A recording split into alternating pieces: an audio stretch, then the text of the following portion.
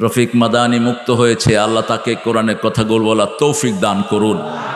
আল্লাহ তাকে সারা জীবনের জন্য মুক্ত আকাশে দায়ী হিসেবে কাজ করা তৌফিক দান করুন।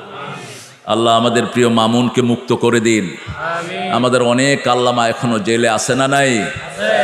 এরা হলো প্রকৃত আলেম। আল্লাহ এদেরকে মুক্ত করে দেওয়ার ব্যবস্থা করেন। মূল এলেম হলো দুটি। এটা থেকেই সব এলেম ছড়িয়েছে। মূল এলেম কয়টি? দুইটি। কোরআন হাদিসের কোথাও কিন্তু ইসলামী এলম বলে কিছু নেই। আল্লাহ জেনারেলাইজ করেছেন আল্লাম আল ইনসানা মালাম ইয়া আলাম মানুষ যা জানতো না, সব শিক্ষা দিয়েছেন কে? আল্লাহ শিক্ষা দিয়েছেন। নবীদের মধ্যে এই জন্য আপনার কার্পেন্টার পাবেন। মিস্ত্রি, ওই যে মিস্ত্রি যারা ঘর বানায়, এরকম মিস্ত্রি একজন নবী ছিলেন না? কি নাম?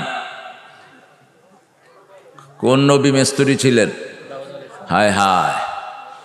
নু আলাইসালাম আসনাইল ফুলকফি আয়ুনিনা হে নু, আমার চোখের সামনে তুমি জনগণের চোখের সামনে একটা নৌকা বানাও। তিনি নৌকা বানিয়ে দিয়েছেন, বিশাল নৌকা। আবার রাজমিস্ত্রি ছিলেন একজন নবী, কি নাম?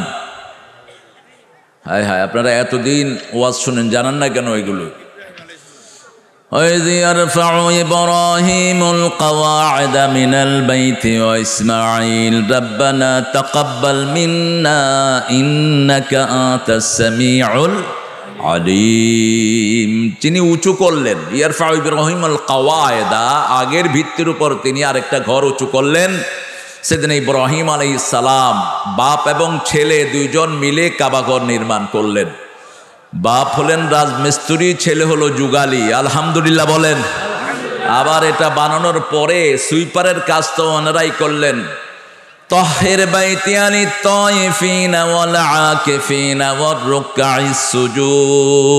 তহের বাইতিয়া, আমার ঘরটাকে পবিত্র করে দাও।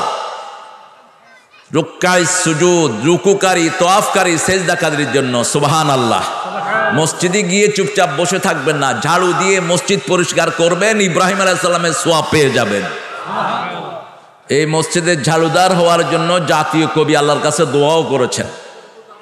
কাজী নজরুল, আপনাদের এখানে তার বিশ্ববিদ্যালয় আছে যে ত্রিশালে বোধ তিনি দোয়া করেছেন যেন তার হাতটা ঝাড়ুদার হতে পারে। শোনো শোনো ইয়ালাহি আমারি মোনাজাত শোনো আমারি মোনাজাত।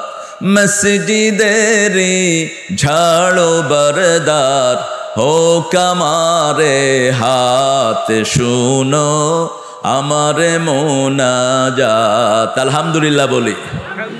মসজিদ ঝাড়ো দিবেন যতজন সালাত আদায় করবে সবার সোয়াব আপনার ভান্ডে উঠে যাবে। শুধু ওই মোয়াজ্জিন কইরে, ঝাড়ু দিলি না? মতাল্লি সাহেব, তুই দিতে পারস না ঝাড়ু? অধিকাংশ মতাল্লিগুলি মুরুক্ষ এই জন্যই মসজিদের বেহাল দশা। ইমামদের সাথে ভালো ব্যবহার করে না। ঠিক না বে ঠিক? আপনাদের এখানে কেমন আছে জানি না। আর সবচেয়ে কম বেতন কাদের? কাদের?